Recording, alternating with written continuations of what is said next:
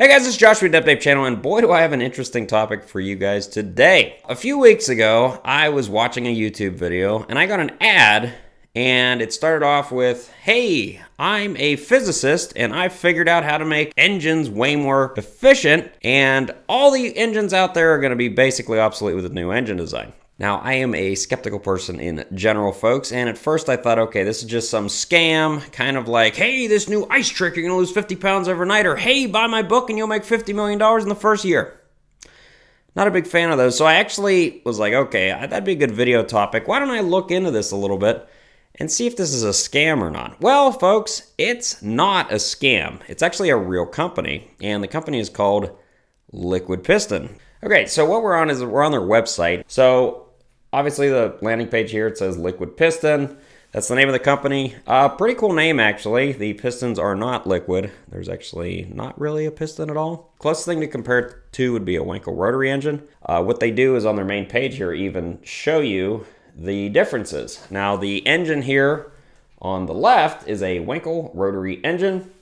And you can see it's basically a an elongated uh, circle with a triangular shaped rotor and it spins inside of that. Now there's on the right here, and theirs is a triangular shaped uh, housing with a cylindrically shaped rotor. So they've kind of turned the Wankel rotor engine inside out. Now, if you've never heard of a Wankel engine, they're very interesting. However, not really used hardly at all anymore. I know Mazda used them for a while, and they can really turn some high RPMs and they can make power. But in my experience, and I've never worked on them typically, but if you just do a cursory view of the Wankel rotary engine, they are not very efficient. Low in torque, they tend to burn a lot of oil and very, have very bad emissions. So a lot of problems with that design. It was never a really well, widely used design. So I'm sure it could have had some refinements to it. I'm not here to critique Wankel. I'm sure he was a lot smarter than I am, but problems with that engine design never really took off. So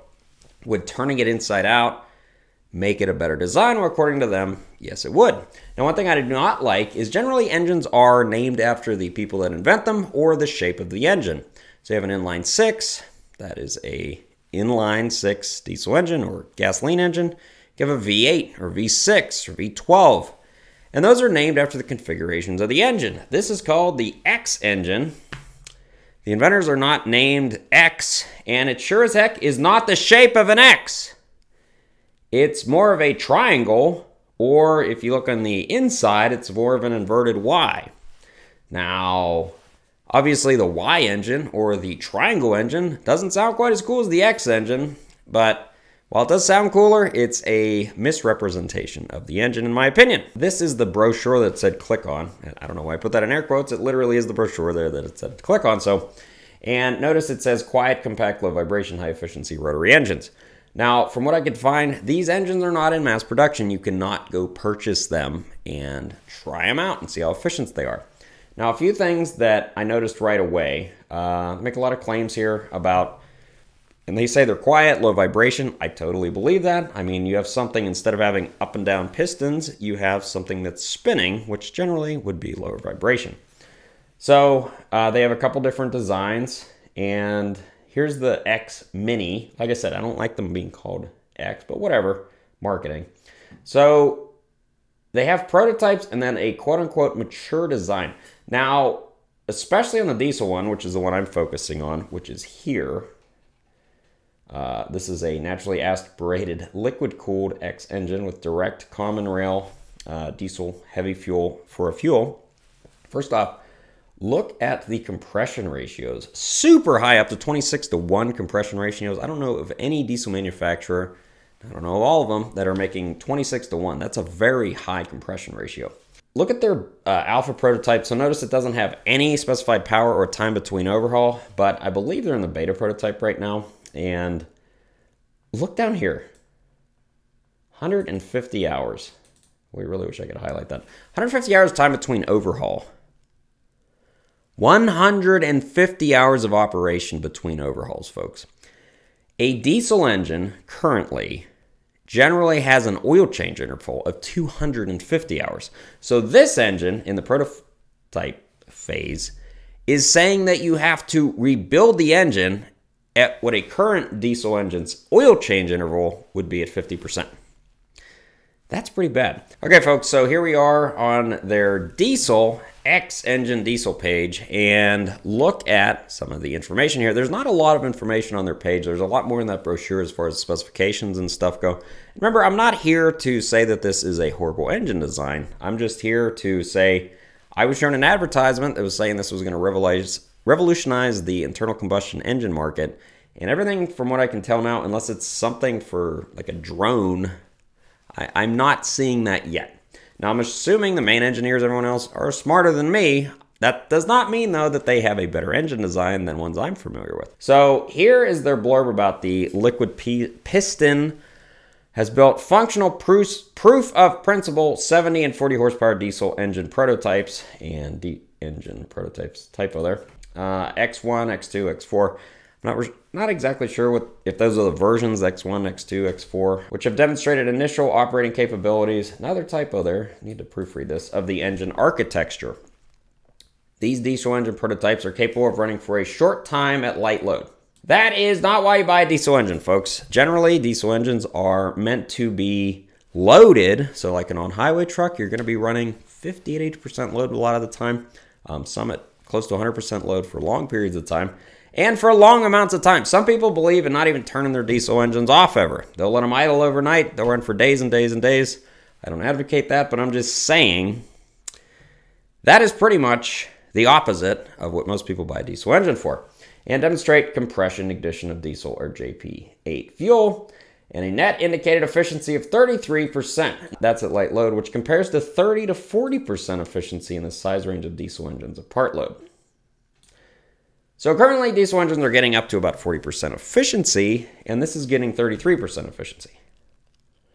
That's less efficiency than current diesel engines are getting. Uh, that's according to their own website here. I haven't done the test myself. I'm just saying 33% is less than 40% by a significant margin. So let's look at some of the stuff that they're showing here. These are obviously some of the proof of concept designs. And here they're comparing a X engine, not sure what version that is, to what appears to be a generator engine, and they're saying this is a 35 horsepower diesel engine. I would believe that. And this is a 40 horsepower diesel engine on the right. I'll take their word for it if they say it's 40 horsepower. Now here's a problem with comparing two engines like this. If that's a generator engine on the left, if you know anything about electrical power generation, generally you are generating AC voltage, and there's something called hertz. Now, hertz is the frequency basically that your generator is running at, and it needs to be at a certain setting. Some places it's 50 hertz. In the US, it's mostly 60 hertz. And the way you get that is with a four pole generator running at 1800 RPM. Now, you need low end torque to be able to run at 1800 RPM and create 35 horsepower, enough to run a generator and keep it at 60 hertz. This guy on the right over here, and it doesn't mention anything about this, it just says it's 40 horsepower. 40 horsepower at what RPM though? I'm assuming this is going to be running at a much higher than 1800 RPM, which would mean you'd need a different generator end to run with it. You also need to be able to run it at a specific set speed. And let's say you were running this as a two pole generator, so you'd be spending about 3,600 RPM. But maybe this makes 40 horsepower at 8,000 RPM. What are you going to do? Your engine kind of needs to be built around the generator, not the other way around. And if you had a problem with creating hertz and making horsepower and torque at the wrong settings, doesn't mean it's a very good generator option. So that's something to keep in mind other than just the size of these two engines here. Okay, so we're on their FAQ or frequently asked questions page of their website here. And it provides a lot of interesting information as to what we were looking at before.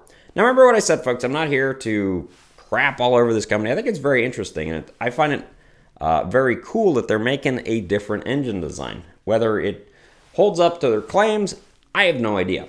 It's obviously not something they have produced yet, so Time will tell. Maybe this will revolutionize the industry, but I highly recommend you go over their website. If um, and like I said, they are not paying me. Obviously, I'm critiquing them, but check it out. it, it's very interesting.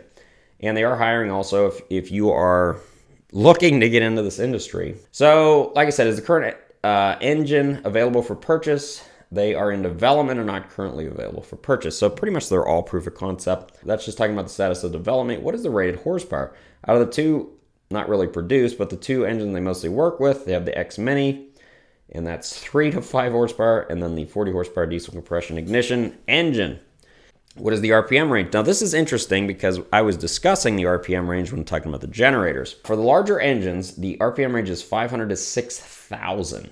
So that means their 40 horsepower version diesel compression ignition would rev up to 6,000, which is way past what most diesels, especially like that stationary one we were looking at there, would rev to. Now, you can make more horsepower at higher RPMs if your engine can spin higher, but that generally means it makes much lower torque in general because you have to spin it higher to make horsepower.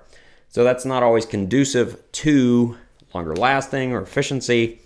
Uh, also, not real good if you are, let's say, trying to pull a heavy load and initially move it. It's really hard to get max horsepower to the wheels when you're trying to move a light load. You need torque and low RPMs generally for a lot of diesel industry stuff. Talks about the compression ratio. Uh, does it require side seals? So like the Wankel, and unlike piston engines, uh, yes, like any rotary engine, like I said, that's very similar to the Wankel. The difference in the X engine, the side seals can be lubricated through access points in the cover, which is a unique feature. So very interesting company here. I saw an ad for it, that's why I thought I'd make an interesting video. If you find it interesting, go to their website. Check it out. They they're still in development, so maybe this is something you want to invest some money into or something like that. I uh, just thought it was an interesting topic, thought I would discuss it, and thanks for watching. If you have an idea for a topic or a question about a cat diesel engine, you can email Josh at adeptape at yahoo.com. And like always, thanks for watching.